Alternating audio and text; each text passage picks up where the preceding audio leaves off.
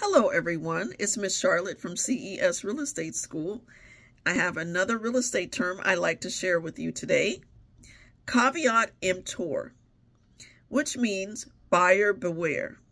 Simply put, it means a buyer needs to do their due diligence in investigating a property before they commit to buying it.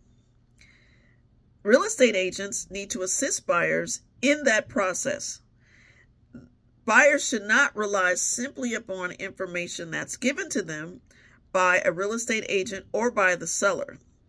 The buyer should actually be obtaining reports from licensed professionals um, in regards to the condition of properties. For example, a licensed roofing contractor should be hired to inspect the roof and then provide a report to as to the condition of the roof.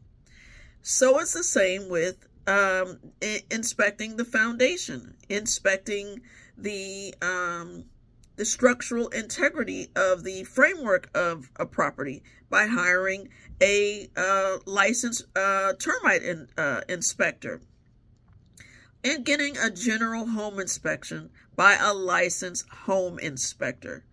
Those are all things that should take place prior to a buyer committing to purchasing a property.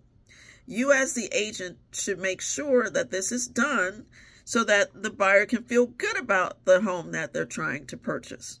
Now, if the buyer decides to not conduct these inspections and to waive them, then agents have them sign a waiver of inspection so that you it shows that you've done your due diligence by disclosing to them the importance of checking out a property before they buy it. But if they opt not to do that, then you want to make sure that you did give them the information. It shows you gave them the information, but they chose not to um, not to do that, not to do the inspection. Okay.